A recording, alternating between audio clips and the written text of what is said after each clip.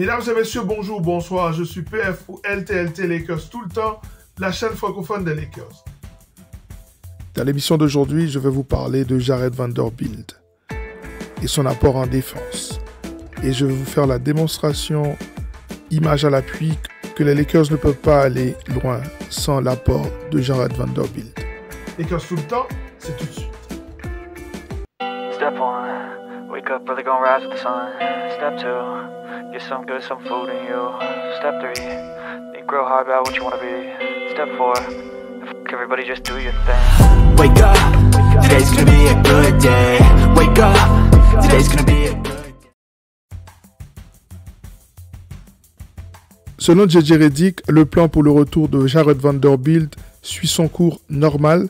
Ça veut dire que début novembre, il devrait être de retour au sein de l'équipe. Et je vais vous faire la démonstration que sa présence est absolument indispensable.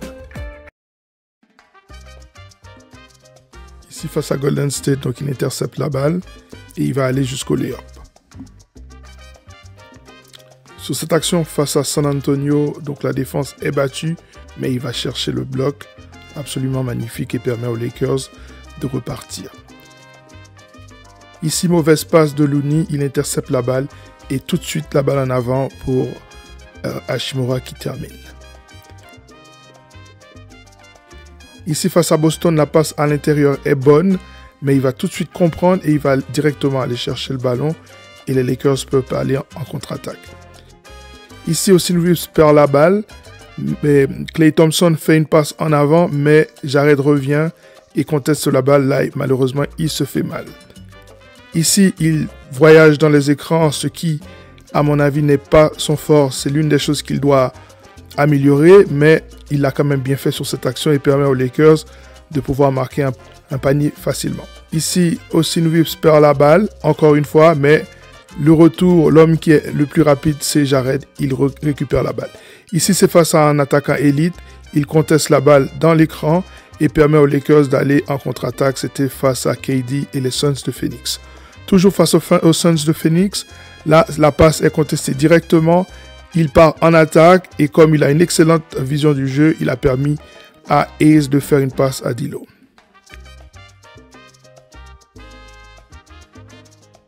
Ici, il lit très bien la passe euh, de Wallace et part en contre-attaque. Excellente passe de, son côté pour Eddie qui termine.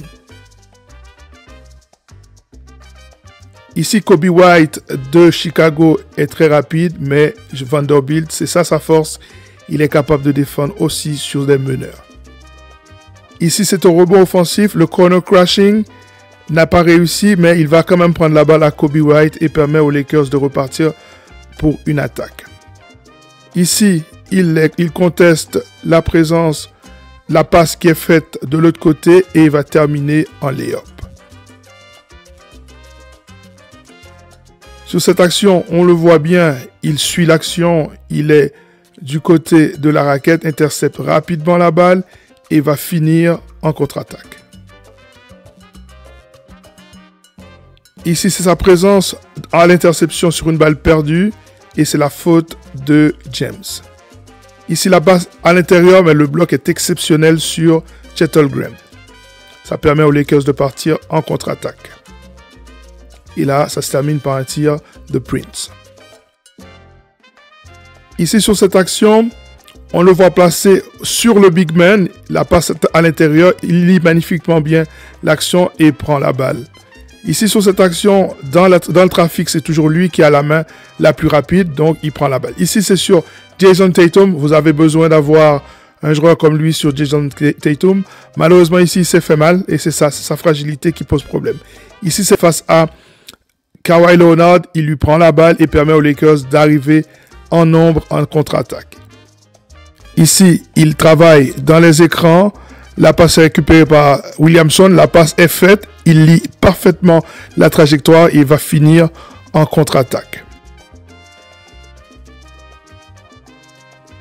Ici, face à Steph, c'est encore le problème dans l'écran, mais quand même, comme il est assez puissant, il passe l'écran de Green et, et donne une passe en alley pour Anthony Davis. Ici, face à Westbrook, il est beaucoup plus malin, beaucoup plus rapide que Westbrook qui est en fin de carrière. Malheureusement, la passe n'est pas terrible. Ça, ça peut arriver.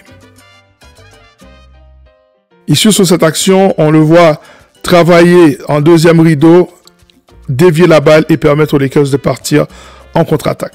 Vous n'avez pas un joueur comme ça aussi actif dans l'équipe. On a absolument besoin de lui. Ici, face à OKC, encore une fois, il est sur la ligne de passe et être sur la ligne de passe, ça permet de partir en contre-attaque et donner des paniers faciles. Ici, c'est face à San Antonio. Il conteste dans un premier temps et il a le temps de revenir pour intercepter. Et en plus, il termine par deux points. C'est absolument exceptionnel. C'est de la grande défense. C'est de la défense élite. Ici, il est directement venu en aide et il prend la balle parce qu'il a les mains extrêmement rapides. Sur cette contre-attaque, Westbrook fait la passe et lui, il a déjà tout lu. Il sait dans quel angle la passe va arriver.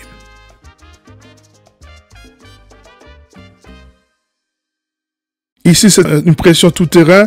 Il prend la balle et il permet aux Lakers de récupérer la balle. Ici, face à Boston, malheureusement, il perd la balle euh, sur la passe.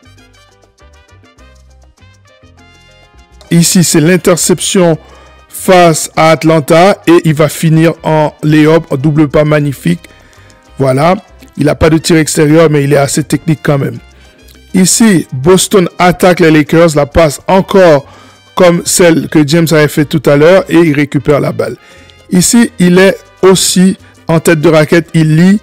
L'interception est partie directement, même s'il perd la balle plus loin, je pense qu'il y a quand même faute. Ici, c'était dans le In-Season Tournament face à Phoenix et sur AD, la passe n'est pas bonne. Évidemment, il avait tout compris il récupère et les Lakers peuvent aller en contre-attaque et Austin Reeves finit au rebond. Ici, travaille en tête de raquette, le pick and roll est, niais et lui, dans la ligne de passe, encore une fois, et c'est la passe est pas mauvaise, malheureusement, elle est un peu trop basse. Ici, AD monte et il marque un panier, j'arrête, récupère la balle et les Lakers peuvent marquer 4 points au lieu de 2. Ici, AD, layup manqué. Et Jared va aller chercher la balle entre les mains du joueur de Houston.